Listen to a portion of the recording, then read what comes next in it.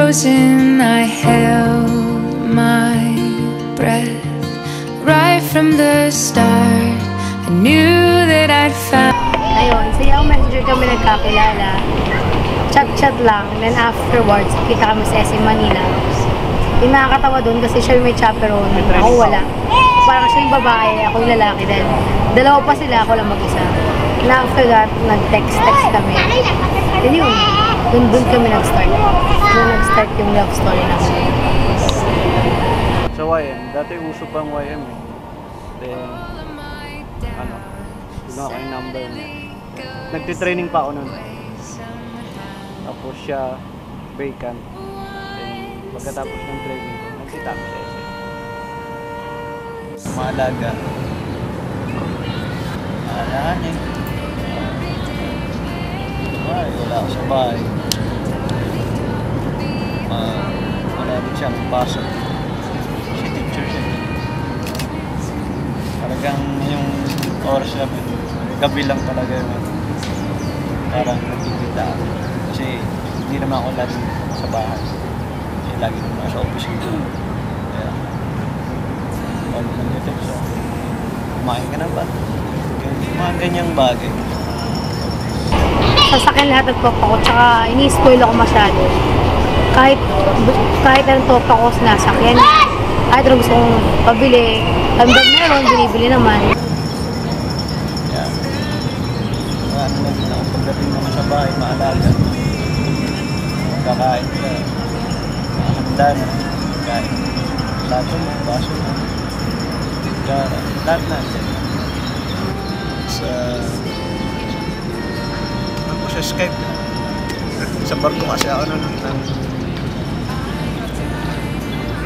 naisipan ko. Kaso hindi naman natuloy.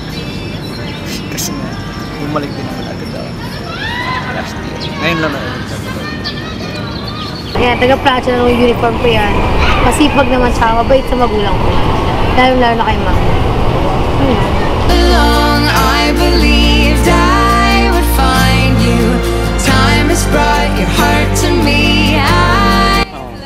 Labas.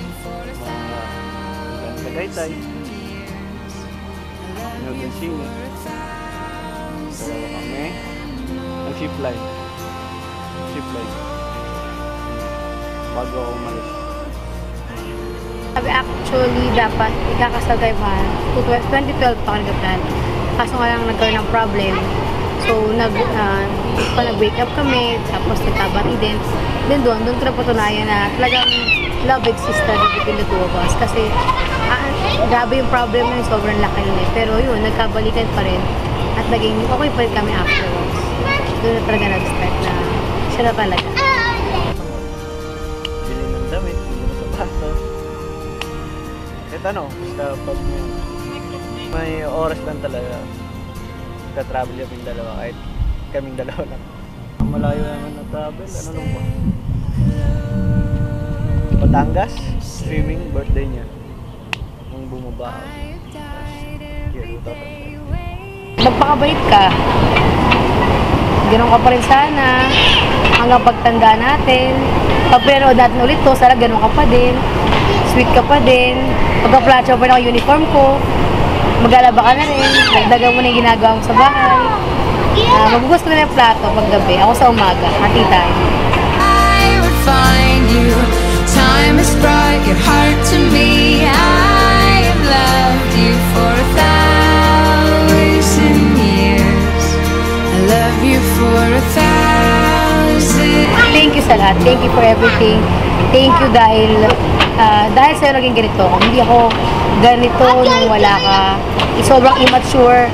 Unlike now, ah, ah, kaya ko na yung sarili ko. Ah, ano ba ba? Naging, naging mabait ako dahil sa'yo. Dahil talagang salbahe talaga ako kung wala sa'yo.